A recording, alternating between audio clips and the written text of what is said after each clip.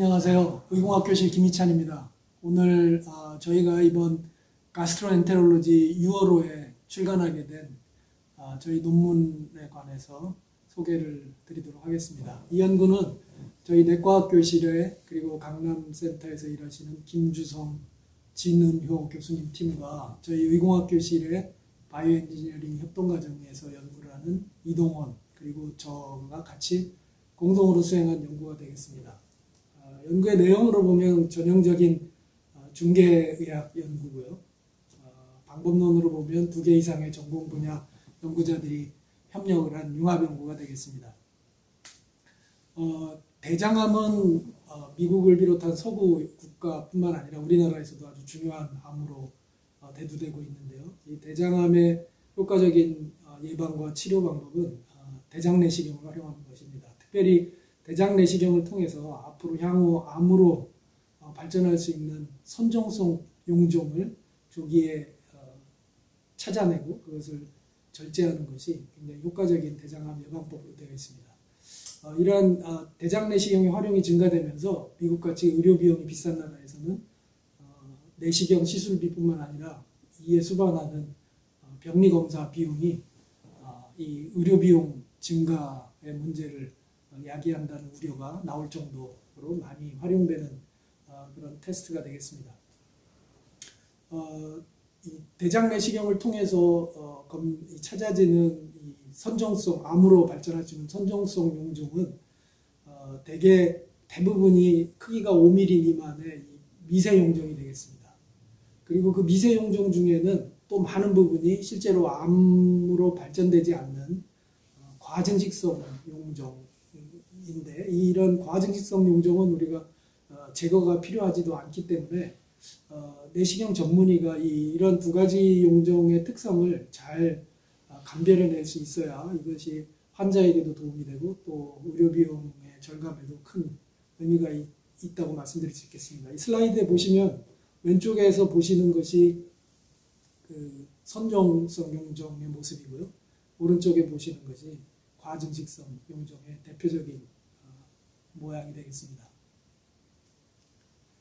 어, 최근에 그 대장내시경 영상기기에서는 이런 그 용종의 특성을 좀더 어, 내시경 시술자들이 잘 어, 감별할 수 있도록 새로운 영상 기법인 협대역 영상 기법, 네로밴드 이미징이라는 이런 영상법을 제공합니다. 이것은 기존의 백색광을 이용한 광대역 영상 기법에 비해서 아주 단색광, 푸른 색깔 계열의 짧은 파장의 빛을 어, 이용해서 영상을 만들게 되면 이게 조직에 깊이 들어가지 않기 때문에 조직의 표면 특성을 잘 볼 수 있는 그런 특화된 영상 기법입니다. 그래서 이런 narrow band imaging 기법을 이용해서 어, 병리 검사를 거치지 않고 이 영상에서 진단을 내리는 optical diagnosis, 광학 진단이 굉장히 중요한 방법으로 떠오르고 있고요. 따라서 이런 광학 진단에 의해서 앞서 말씀드린 어, 선종성 용종과 과증식성 용종을 구별할 수 있다면 이게 굉장히 어, 이, 앞, 이 새로운 아, 방법으로 의미가 있겠다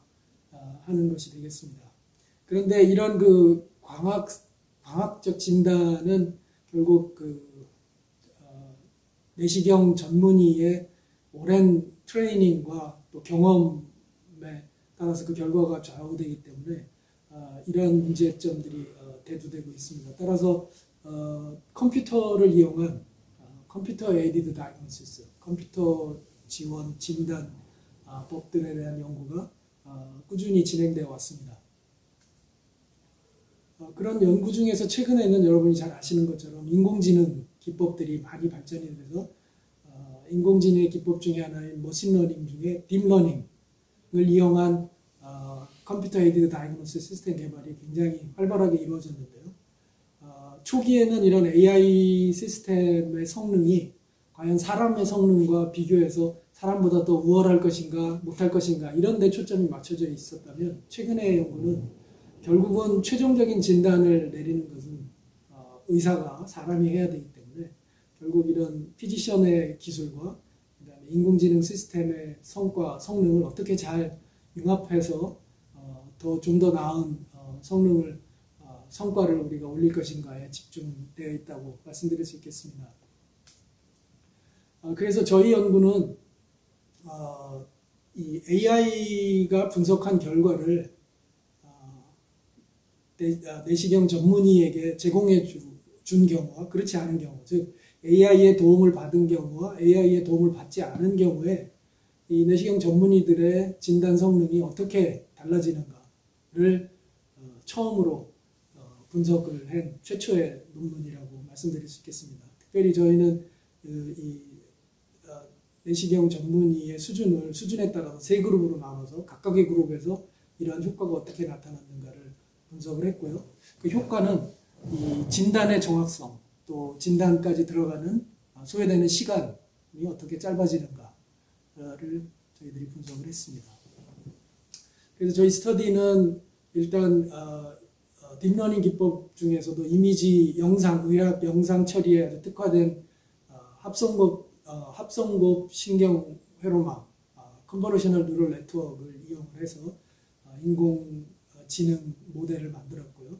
이것을 이용해서 어, 사람 즉 그 내시경 전문의가 판단한 것과 우리 인공신, 인공지능 시스템이 판단한 것의 성능을 비교하는 첫 번째 어, 실험을 시행했고 두 번째 실험에서는 말씀드린 것처럼 인공지능의 어, 분석 결과를 내시경 전문의에게 미리 알려주고 나서 결국 그 내시경 전문의의 판단 진단 능력이 어떻게 변하는지를 어, 살펴보는 두 가지의 실험으로 구성을 했습니다. 이 슬라이드에 보시면 왼쪽에 있는 것이 오리지널 그 협대역 영상, 용종에 대한 영상이고요.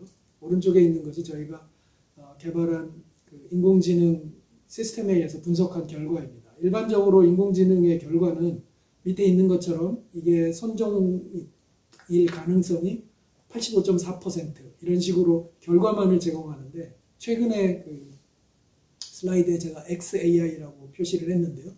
어, 최근에 인공지능에서 새로운 추세는 이렇게 explainable AI, AI가 어, 왜 이렇게 판단했는가를 설명할 수 있는 그런 방법들에 대한 연구가 아주 많이 활발히 진행되고 있습니다. 그래서 저희도 어, 이 용정 사진 위에 AI가 이렇게 판단하게 된 근거를 칼라 코딩을 해서 붉은 색깔이 쪽으로 짙은 쪽이 더 이렇게 판단하게 될 어떤 근거가 강한 그런 에어리어다라고 칼라 코딩한 맵을 오버레이 해줌으로써 이걸 어, 내시경 전문의가 보고 어, 최종 어, 진단에 도움이 되도록 이렇게 수행을 하였습니다.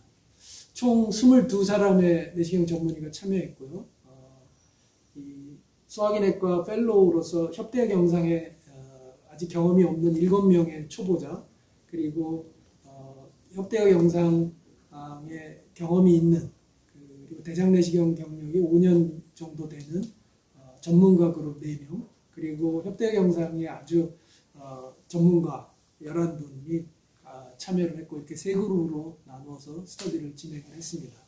total data는 이 인공지능 모델을 개발하는 데 사용된 training data는 총 1379명의 환자로부터 얻어서 어, 선정성 용종 영상이 1100장 그리고 과증식성 용종 영상이 1050장이 사용이 됐고요. 그리고 이것과는 별도로 우리가 성능을 평가하는 test dataset은 어, 전향적 연구를 다시 수행을 해서 180장과 어, 120장의 선종성 과증식성 용종 어, 영상을 따로 만들어서 성능 평가를 수행을 했습니다. 어, 기술적인 측면에서도 약간 저희들이 인공지능 기법에서 조금 말씀드릴 내용이 있는데 이게 이제 소위 그 모델을 만들 때 여러 가지 모델의 구조라든지 또는 모델을 정하는데 여러 가지 hyper parameter라고 하는 변수들이 많이 존재하는데 이거를 일일이 사람이 지정하지 않고 이걸 자동적으로 최적의 상태로 만들어주는 automated machine learning 우리가 AutoML이라고 부르는 기법을 사용을 했고요. 그래서 결과를 보시면 어, 이런 AutoML 기법을 사용해서 그 CNN 모델이 만들어지는 과정을 보여주는 그림이고요. 그 밑에 표에 저희 인공지능 시스템의 성능이 나와 있습니다. 그 이전에 어, 단순히 CNN 전통적인 CNN 기법으로 만들어진 그 모델에 비해서 보고된 것들에 비해서 accuracy라든지 sensitivity, specificity 등 모든 파라미터에서 저희 어, 개발한 모델이 성능이 우수한 것을 어, 보여주고 있습니다. 이 슬라이드가 어떻게 보면 핵심적인 그그 결과를 보여주는 슬라이드인데요. 어, 왼쪽 그림에 보시면 결국 세 그룹에서 어, 초보자와 전문가와 협대역 영상 전문가 그룹에서 accuracy가 어, AI 결과를 보여주기 전과 보여주기 후에 어떻게 증가됐는가를 보여주는 그림이고요. 이 그림에서 빨간색 가로선으로 빨갛게 점선으로 표시된 선이 저희가 개발한 AI 어, 모델의 어, 성능입니다. 그래서 일반적으로 저희가 개발한 AI 모델의 성능은 expert 그룹, 가운데 그룹 정도에 해당한다라고 보시면 되겠고요. AI의 그 판단 결과를 알려준, 즉 테스트 2, 실험 2에서의 그 human 어, 내시경 전문의들의 그 진단능은 어, 모두 다 세 그룹에서 모두 다 증가했는데 특별히 이 초보자 그룹에서 가장 눈에 띄게 증가했다는 것을 어, 저희들이 결과로 보고를 하였습니다. 어, 또 진단에 소요되는 시간이 어, 얼마나 줄었는가 하는 것도 저희들이 테스트를 했는데 어, AI를 지원 받았을 때와 받지 않았을 때 모두 다 어, 경우에 있어서 진단에 필요된 시간이 어, AI를 도움을 받았을 때가 더 짧게 어, 줄어드는 결과를 얻었는데 그 중에서는 특별히 마지막에 그 협대역 영상에 아주 전문화된 expert 그룹에서 가장 눈에 띄게 확실하게 진단 시간이 줄어들었다는 것을 저희들이 보고를 하였습니다.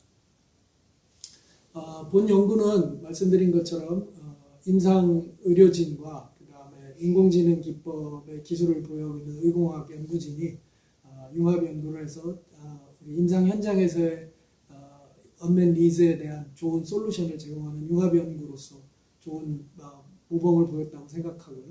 어, 인공지능 기법 중에 말씀드린 것처럼 설명이 가능한 인공지능 스스로 가장 최적의 모델을 찾아내는 AutoML과 같은 새로운 기법을 활용을 했고 어, 그를 통해서 어, 내시경 어, 전문의의 훈련 과정에서 이 AI의 결과를 제공해 줌으로써 어, 훨씬 더 이, 훈련의 효과가 또 전문성 확보가 확보에 도움이 될 거라는 그 어떤 단초를 제공을 했고요. 어, accuracy뿐만 아니라 진단에 필요한 시간 면에서도 충분한 장점을 보일 수 있다라는 결론을 저희들이 보고를 하게 됨으로써 앞으로 어, 의료 영상 분야에서 AI가 어떤 형태로 활용될 것인가 하는 그런 어, 물음에 대한 어떤 insight를 제공했다고 어, 생각합니다. 네, 이상 발표를 마치겠습니다. 감사합니다.